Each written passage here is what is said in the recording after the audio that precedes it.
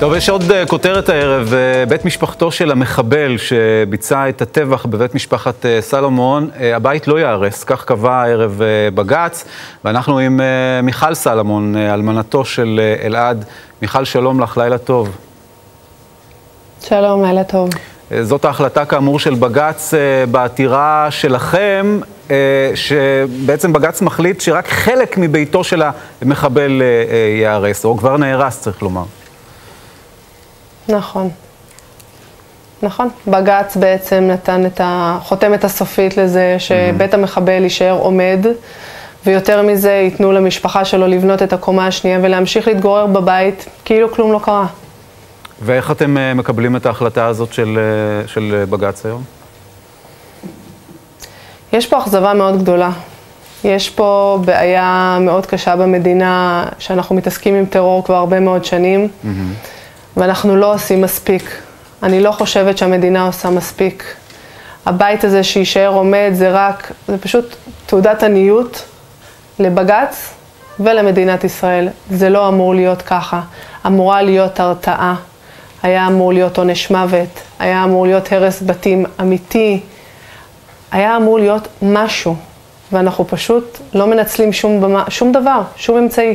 הזכרת את עניין עונש המוות אה, שהובטח לכם, צריך לומר, אה, בפיו של ראש הממשלה בימי השבעה, אנחנו זוכרים, כשהוא בא אה, לבית שלכם, אז לא עונש מוות, לא הריסה מלאה של הבית. בעצם איזה כלי הרתעה, איזה כלים של הרתעה יש מול אותם מחבלים? זו שאלה שאתם מעלים ומעלות עוד משפחות שכולות רבות לצערנו.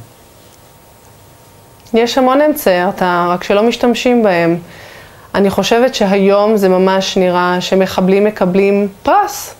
ממש יש פיתוי מאוד גדול לרצוח יהודים, mm-hmm. משום שהם יוצאים מהבית והם יודעים שהם ירצחו, ובתמורה לזה הם יקבלו משכורות ענק, והבית לא ייהרס, והמשפחה לא תגורש. הם, או שהם ימותו בפיגוע, או שהם יבלו את, את המשך חייהם בכלא.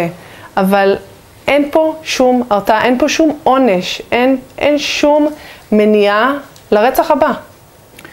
מיכל, כמה מילים בכל זאת על ההתמודדות אה, מאז אה, הרצח של אלעד ושל בני המשפחה האחרים, שלך, חמישה ילדים. שמונה חודשים שאלעד, יוסי וחיה כבר לא איתנו. Mm-hmm. כאב מאוד גדול שמעורב בהתמודדות לא פשוטה אה, שלי כאלמנה לחמישה יתומים שיום יום מתמודדים גם עם היתמות וגם עם הזיכרונות והפחד וה... הגדול מאז אותו לילה. והחגים שעברו, וחג הפסח שמתקרב, ו... והוא לא פה. והוא לא פה, ושום דבר לא יחזיר אותו גם. כן, והערב, וגם נוסף לכך, כאמור, התסכול הגדול והכאב הגדול מההחלטה הזו של אה, בג"ץ. אה, מיכל אה, סלומון, אני מודה לך מאוד שהצטרפת אלינו הלילה. תודה רבה לך. תודה, מיכל. תודה לך.